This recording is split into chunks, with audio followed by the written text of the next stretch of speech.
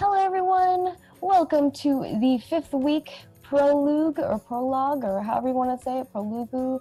We were trying to come, we were trying to like basically think about how weird this word is. This word is just ridiculous. Who comes up with these words? I don't. It's weird. It's the French, but I don't know. Yeah. yeah. All right. Well, we are going to be hopping into this week's episode. It's going to be about the Gromon, aka me. Uh, my character is that, and I'm Margaret Krohn. And with me is our lovely DM. Why don't you go ahead and introduce yourself? Hi guys, Derek here. Going to going to put Gromon to the test. Yeah, this is going to be a little bit of a different type of episode for Gromon. Uh, if you've if you've seen the episodes prior, uh, he's kind of like a, a little dorky character that always brings the humor to the party. But I think you're gonna you're gonna see a little bit of his backstory and where he comes from, and it's gonna it's gonna change things for you. Oh, the character progression. But Derek, go ahead and uh, paint us the, the picture here. I think it's funny that you say brings the humor when he kills a bunch of people. okay, he kills a bunch of people. I, I feel like that probably won't change. I'm just kidding. Uh, but I, I think it's more of like he's not the brightest. Yeah, in the box. He- He's fun. He's fun to watch, fun to behold. So, uh, where it was, we're actually going to do this at a different time, at a different place. We're going to go far back into Gromon's past to where he grew up. So he actually grew up in the mountainous region. It's the Galena Mountains, which are on the periphery of the, uh, which kind of surrounds the uh, the Vaasa. It's a different country in uh, central northern uh, Faerun. so Gromon grew up on these mountains, and he had a very traditional Orcish upbringing. He grew up amongst an Orcish tribe, which would be the Bone Warriors tribe, out in the the Galena Mountains.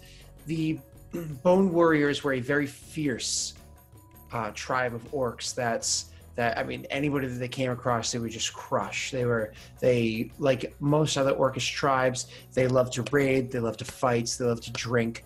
Um, every game that they played was one of competition. Uh, you could see a lot of these these aspects in Gromon nowadays. It's always about rolling the dice or re- uh, arm wrestling or combat. It's always about winning, winning, winning.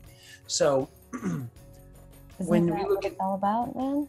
Yeah, of course, absolutely. Well, that's that's where the fun is. That's where the excitement is. It must win. So going back into Gromon's past, where we are is it's a beautiful day. Uh, it's a beautiful uh, morning where Gromon is. So when I say morning, being in an Orcish tribe, it is actually just pre-dawn. So the sun is starting to sparkle off into the horizon. It's getting to the point where Gromon's probably getting a little bit tired and looking to go to bed because why would he want to be awake all day? He, spends his nights awake and his days sleeping.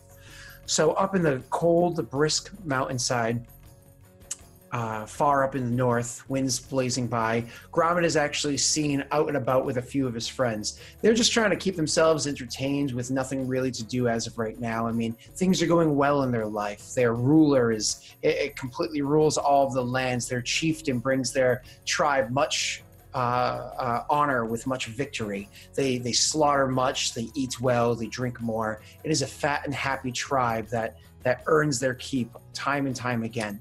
So he's out with his friends, uh, playing a, a fun game of theirs, which is you know find a goat and see how many limbs you can rip off before it stops moving.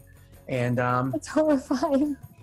and he actually hears the the hoots of excitement as one of his friends must have grabbed a goat nearby.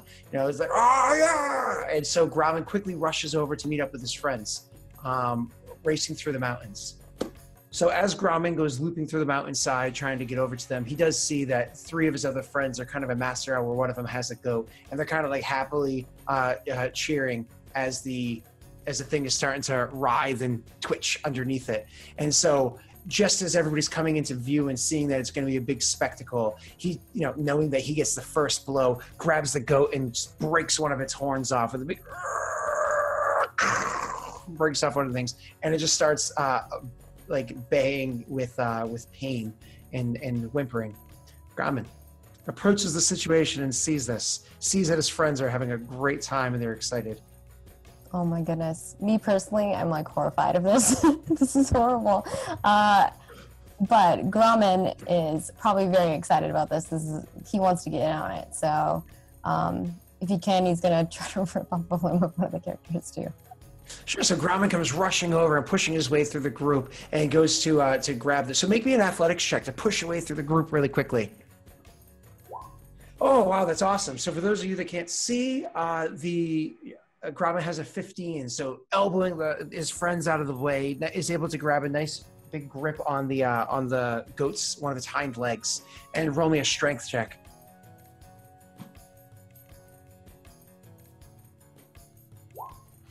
Ooh, that's an amazing 19.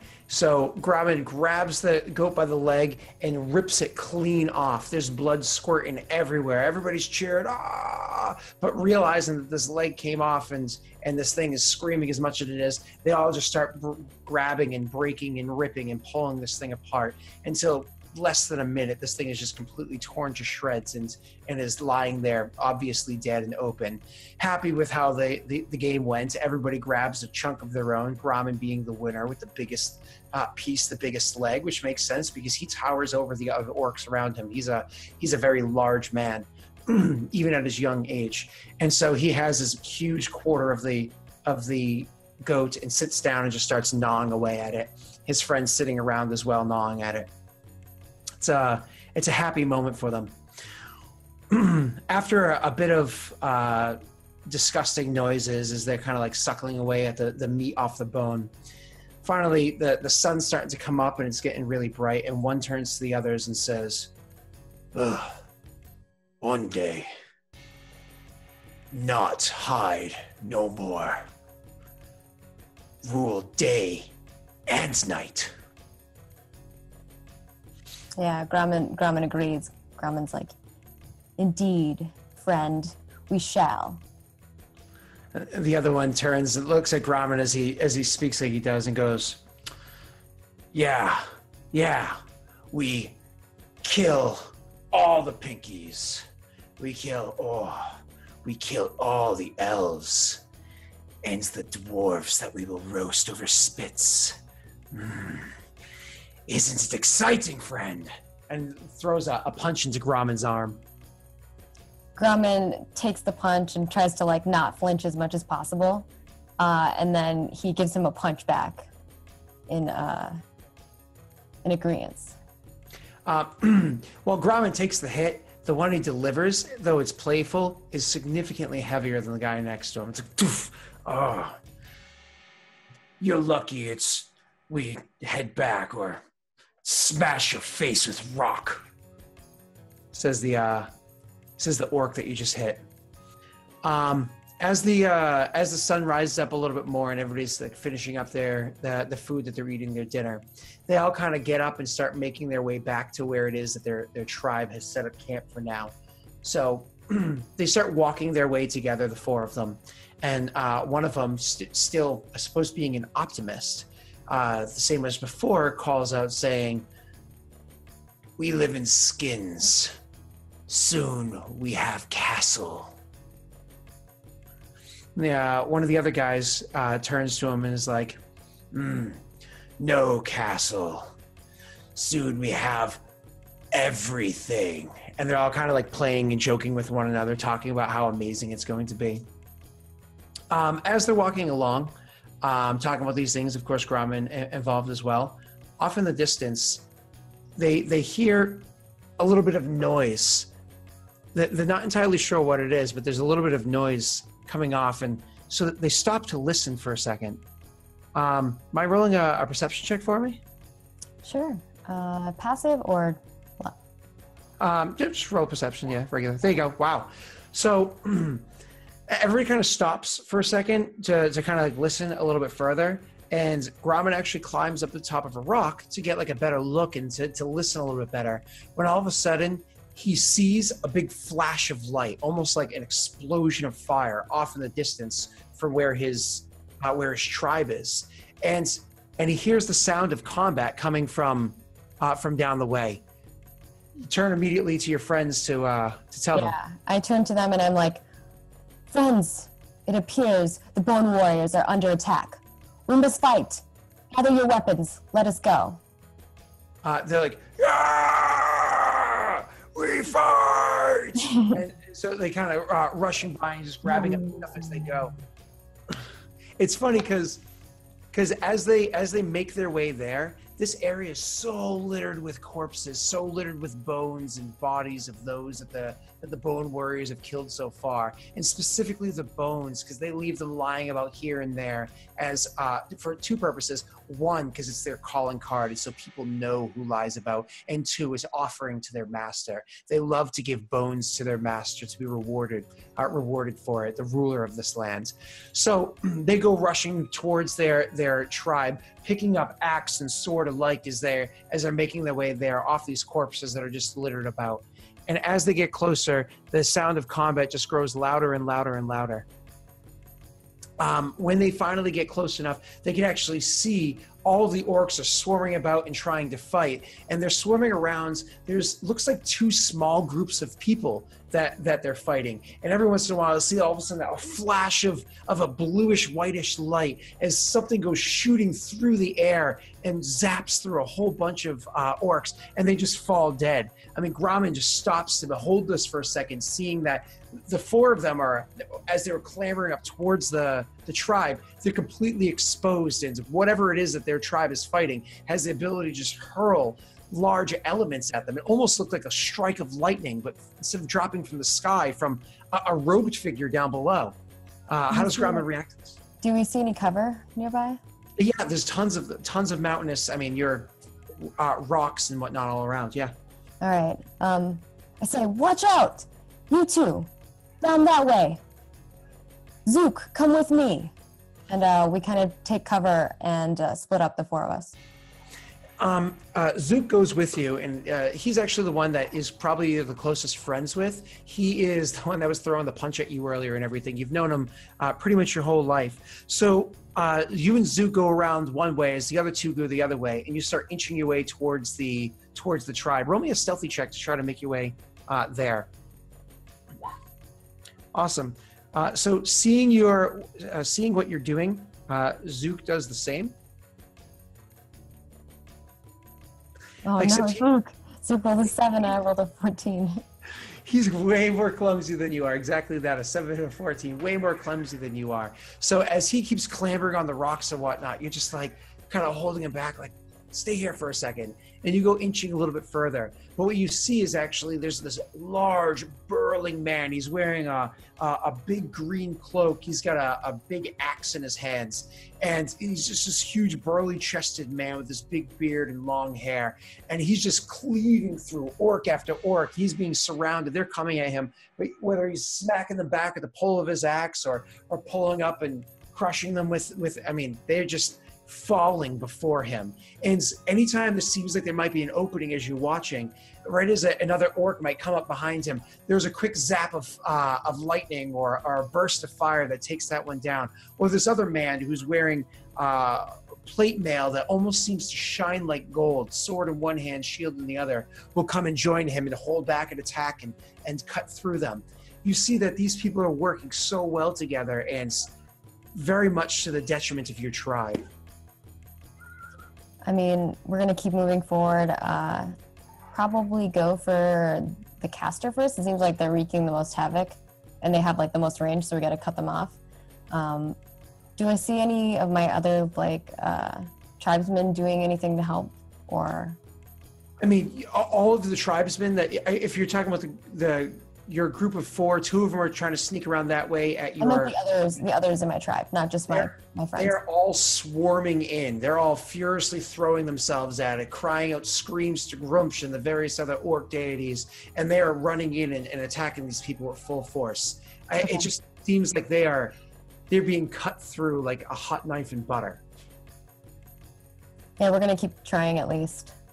So the two of you keep sneaking your way in. You want to get yourself a bit closer to at least one of the casters. So roll for me a uh, uh, a stealth check again. Ooh, 21. Amazing. Um, so you're sneaking Oh, along as, as quick as you can. It's a four. You're sneaking along as quick as you can and as you, you start making your way like as as I said you told zook to kind of hang back a little bit as you like look run run run look run run run between area and area. At one point in time you turn back to see how zook is doing but oh man as you turn around you see that one of the other people have noticed him. And that big burly man with that axe he quickly throws down the axe pulls out a bow and fires a shot right out at Zook, and it lands right in the side of his head, and just he falls instantly, He's, and falls instantly. For a mean- moment, I, I'm like caught off guard, and uh, I mean, this is my lifelong, my lifelong friend. So uh, it takes it takes me a moment, but then I realize as I'm like hearing like the the, the yelling and the screaming and the, the weapons hitting each other, like the sparks flying, I'm starting to like come back to reality and realizing like, oh shit, there's not much I can do for him. I can't help him. He just got shot in the head. I need to keep going. Uh, so I turn around quickly and I continue on onward. Uh, as you continue forward, sneaking your way up, trying to get to at least close to one of them, trying to bring your tribe honor by by taking down one of these foes, you come across a small group of of dead orcs that are lying at your feet, but one of them is still kind of alive and and, and, and writhing in pain. So as you uh, go walking by, they're obviously looking up at you as you know blood is pouring out of them. Do you stop to regard them at all, or just continue going? Um, do they look like they're so far gone that there's not much I can do? I mean, um, it, most likely the case. That, that is most likely the case. Um, as I walk by, uh, I, I guess I take them out to help them make their way. And as I'm doing so, I say, "Maybe we, we uh, may we meet again if Gruumsh so pleases." And then you uh, kill him. What is it that you're carrying as a weapon right now? Um, You would have scooped it up on the uh, on the way I towards your suppose some axes. a couple of axes. Sure. So you're doing like the whole tandem fighting, like ah, Cool. Yeah. awesome. And um, so you um, make your way towards, uh, continue making your way towards the wizard, and roll for me one last time. Even though that last one was beautiful, a stealth check. Last one was a 21. Oh, it's still a 14, so you're still rolling amazing with this. So Gromon, being as stealthy as he could possibly be, is making his way towards the wizard. I'm little. I'm a little orc. I'm ninja. I can hide behind those piles. So I'm as, like five, almost six feet. as he's making his way there, Gromon every once in a while poke his head out and look around to see what's going on, and he's counting out how many there are.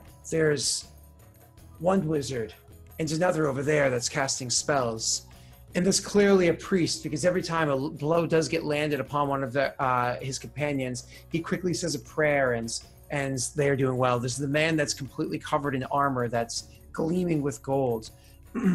there's the the large burly man that's you know uh, that that's um, uh, cutting through people like they're nothing. You know, this large axe just cutting through them um, with, with greatest of ease. There's another man that seems to have uh, uh, that seems to be walking around and giving prayers over them.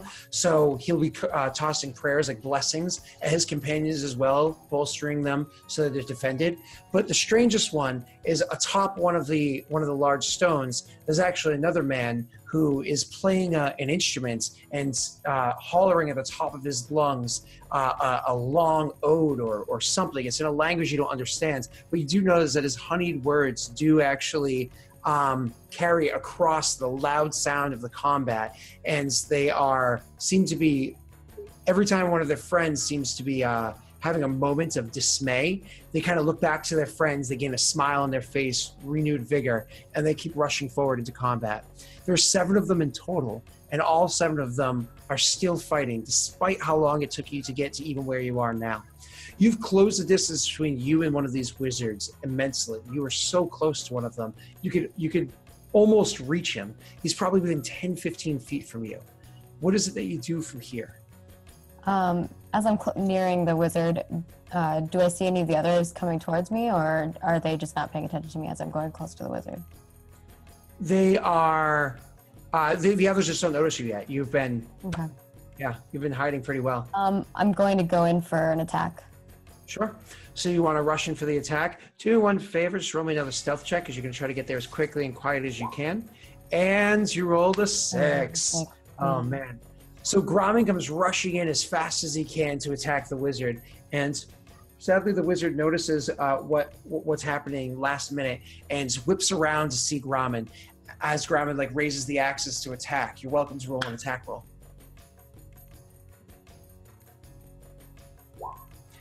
Oh, it's amazing! It's a twenty. So Gromon comes rushing forward with the axe and swings uh, with a total of a 20 at this wizard. And you can tell this thing is going to collapse this damn wizard's puny chest. And as it comes bearing down, all of a sudden it is stopped short.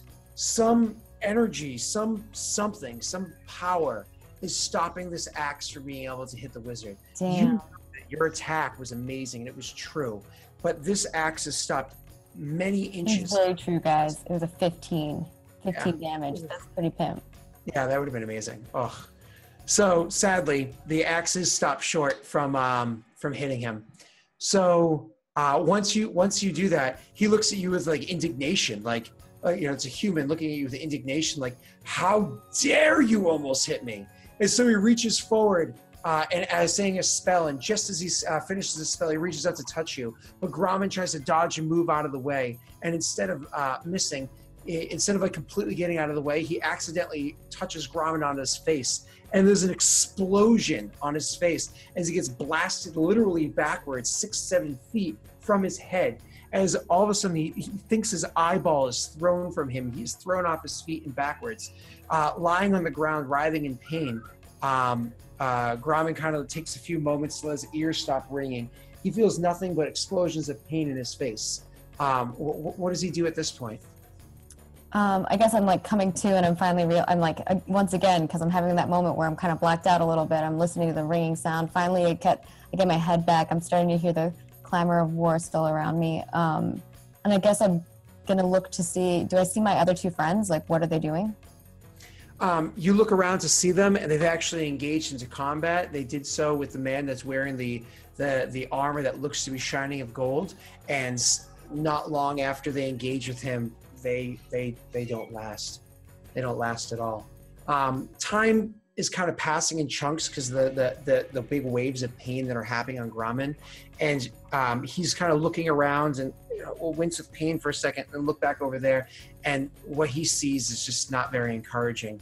The the numbers are just dropping around these seven warriors. Uh, one of the men that you thought was perhaps a, a priest or a cleric of the like, you realize is not that. That was dressed much more simply. He's actually engaging in melee combat with ferocity. So he's as as an orc would come up at him to maybe lunge at him with a sword, he would easily sidestep the sword and break their arm and then throw them to the ground and snap their necks and move on to the next. Like these people are just uh, they're it looks like exterminators just doing their job. There's very little emotion on them. They're just going about their business with what they're doing.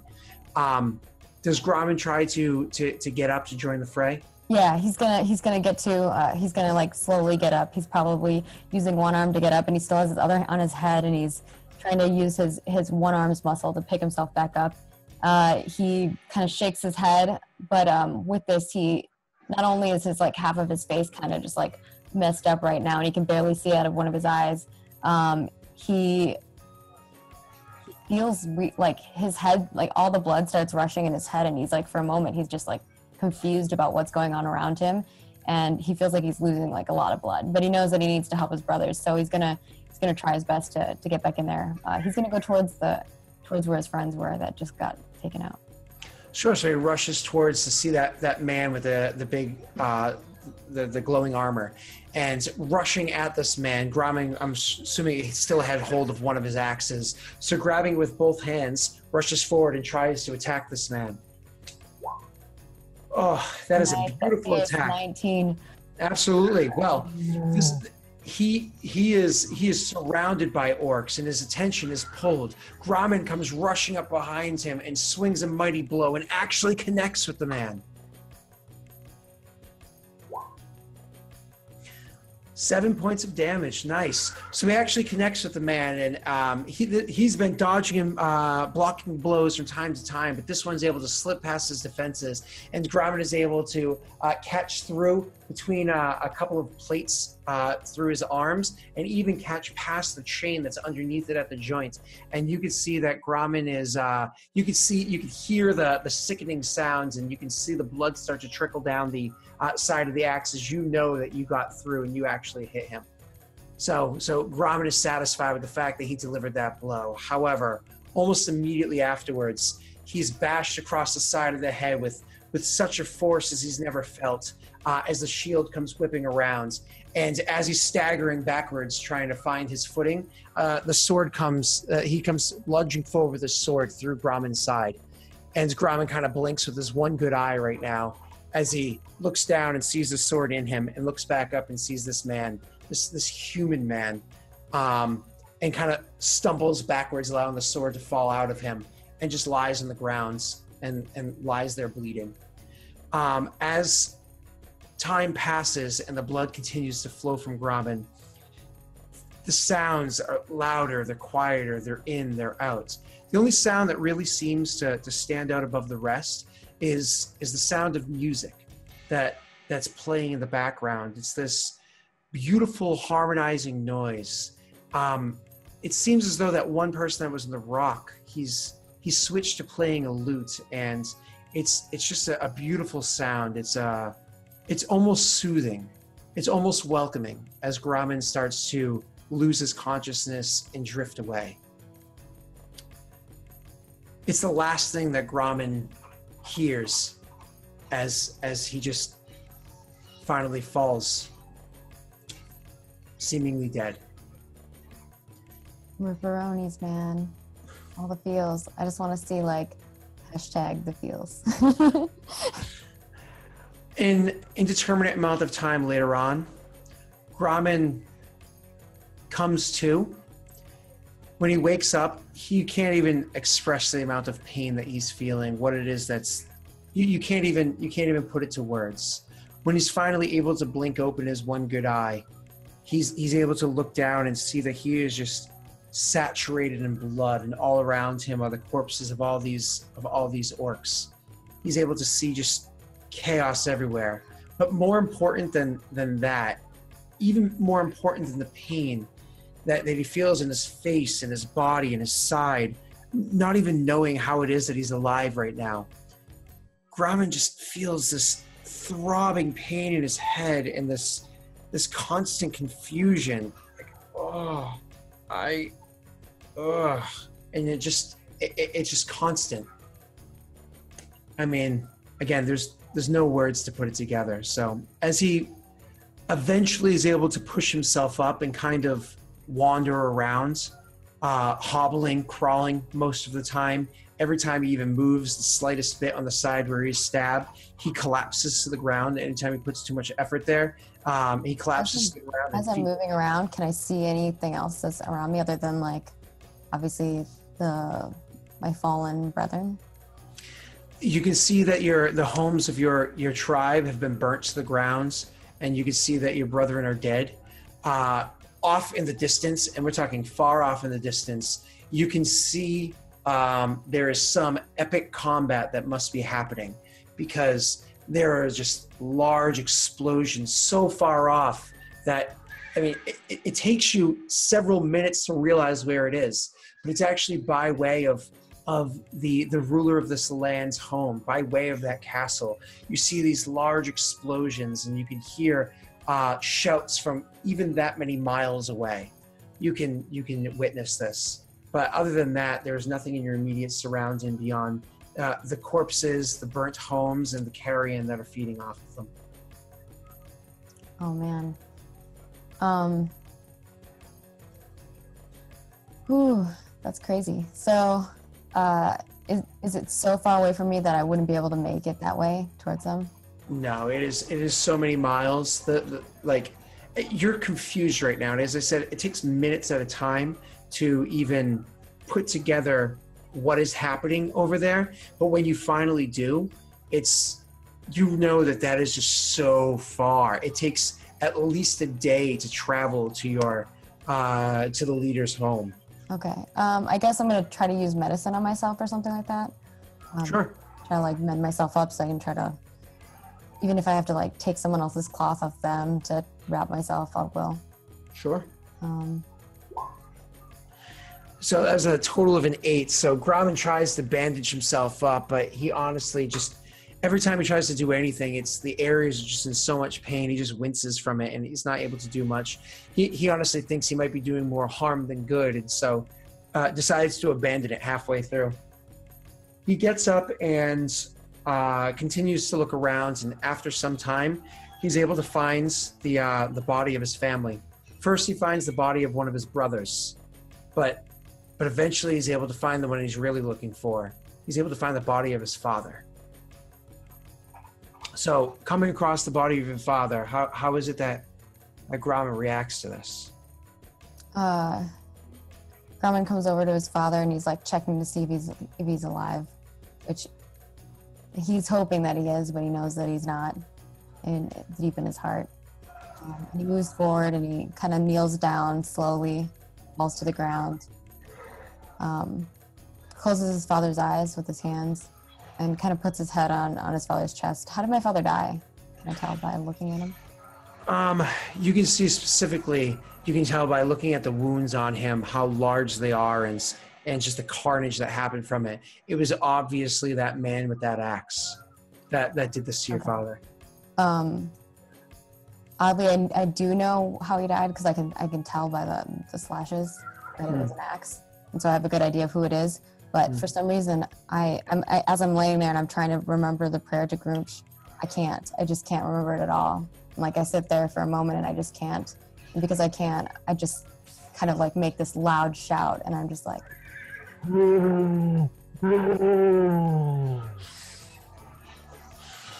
and I put my head back down, and uh, he tries to hold back tears, but they come anyway. And um, I think that's where we'll end it. Damn, that's way too serious.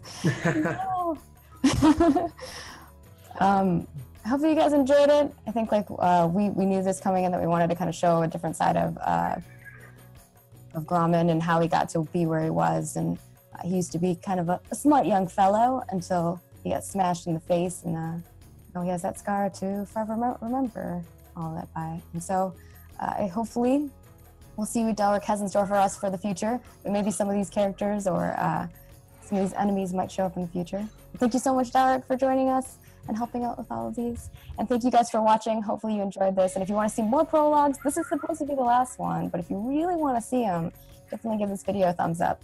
And we'll see you guys next week for another episode of The Lost Initiative. Bye.